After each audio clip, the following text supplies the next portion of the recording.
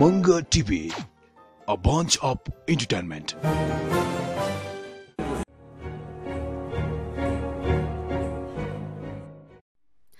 संस्कृति पर्यटन तथा नागरिक उड्डयन मन्त्रालयले विभिन्न विधामा विभिन्न व्यक्तिहरूलाई राष्ट्रिय पुरस्कार समर्पण समारोह सम्पन्न गरेको छ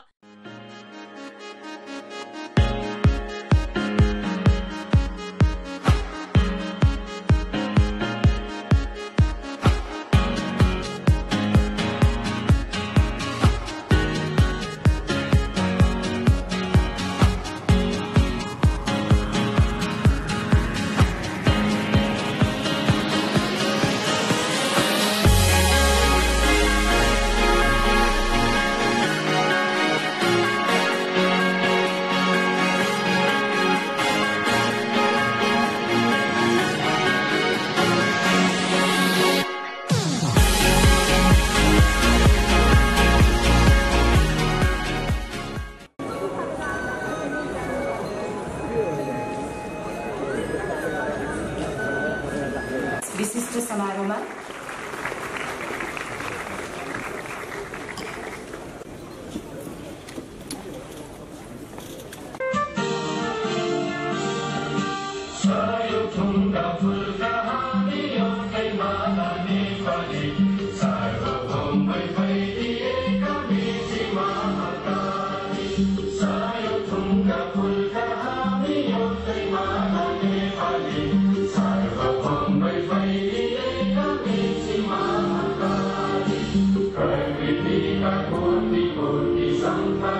सम्मानमा आज उहाँलाई नाट सङ्गीत तथा नाट्य विधातर्फको यो राष्ट्रिय प्रतिभा पुरस्कार समर्पण गरिँदैछ।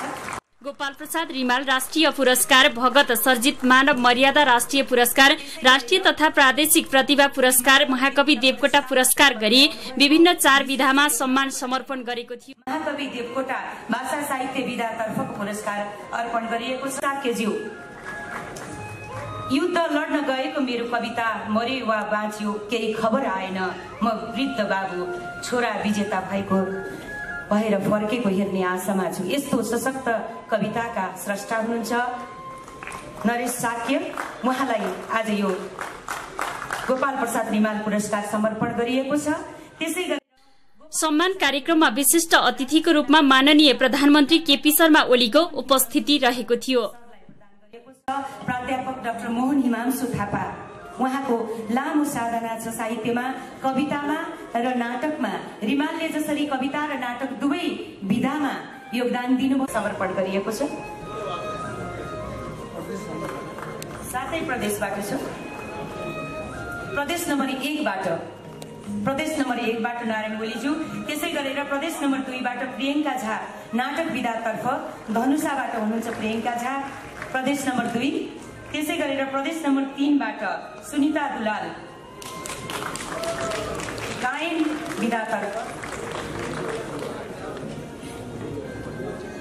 गायन विधातर्फ सुनिता दुलाल त्यसै गरेर प्रदेश नम्बर चारबाट इतु जोजिजु गायन। गायनतर्फ नै हुनुहुन्छ उहाँ। इतु जोजिजु कास्कीका हुनुहुन्छ उहाँ। प्रदेश नम्बर चारबाट त्यसै गरेर प्रदेश नम्बर पाँचबाट नाटक विधातर्फ सरस्वती चौधरी बर्दियाबाट हुनुहुन्छ उहाँ। सरस्वती चौधरी। त्यसै गरेर वाद्यवादनतर्फ खर्ग खर्ग बहादुर बुढा सल्यानबाट हुनुहुन्छ। वाद्यवादन विधातर्फबाट खर्ग बहादुर बुढा त्यसै गरेर प्रदेश नम्बर सातबाट सुधादेवी चाड नृत्य विधातर्फ उहाँलाई यो सम्मान अर्पण गरिएको छ। सुधादेवी चाड कैलालीबाट हुनुहुन्छ।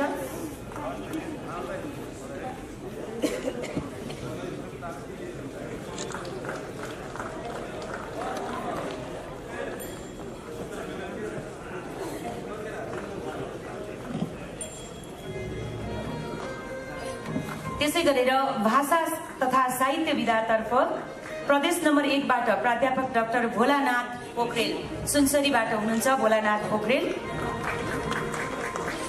त्यसै गरेर प्रदेश नम्बर दुईबाट विनित ठाकुर धनुषाबाट हुनुहुन्छ विनित ठाकुर।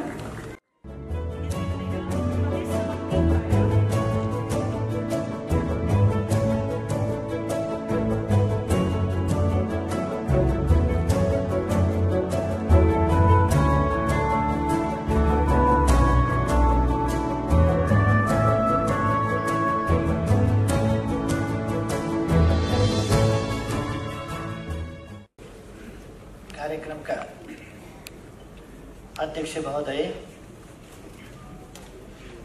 એનો અવાજ સારો સુધી તો રહી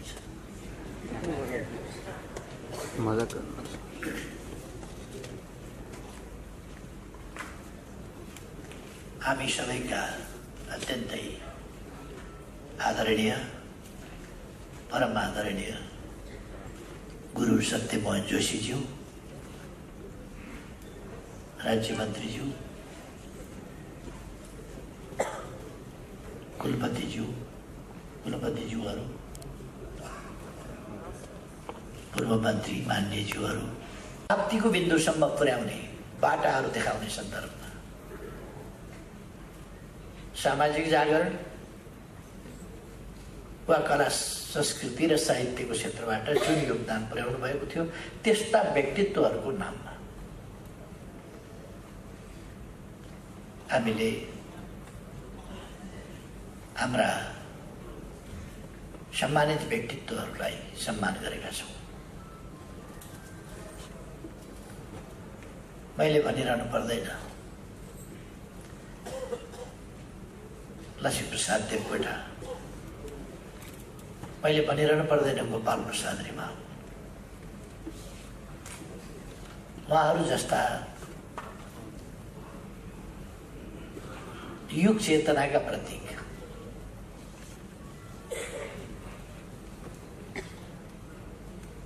अब देश कता जानुपर्छ अब समाज कता जानुपर्छ। त्यस भावनाका सन्देशका निर्माता संवाहक र सम्प्रेषक। त्यस्ता व्यक्तित्वहरू जसले एउटा हरफबाट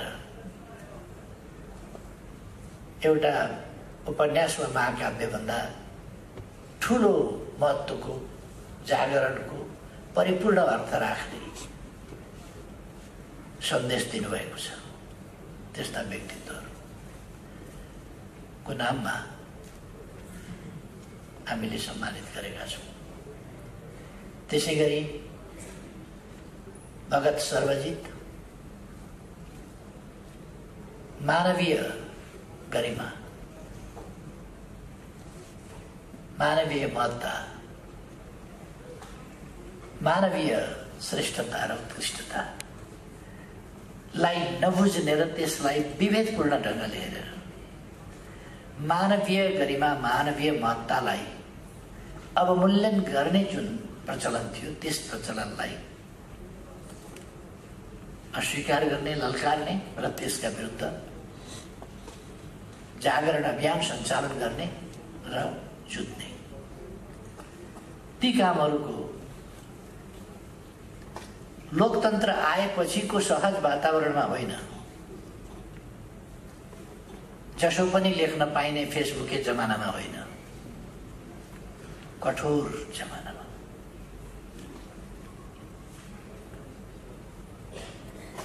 त्यस्तो समयमा एउटा जागरण अभियान चलाउनु।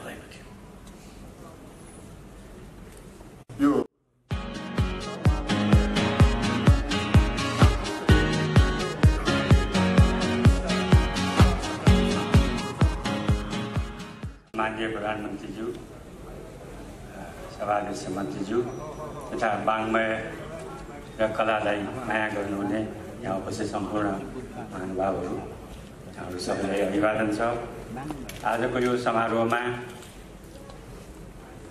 सरकारले कला र साहित्यको जुन सम्मान गरेको छ त्यो एकदमै उल्लेखनीय र प्रोत्साहन दिने विषय हो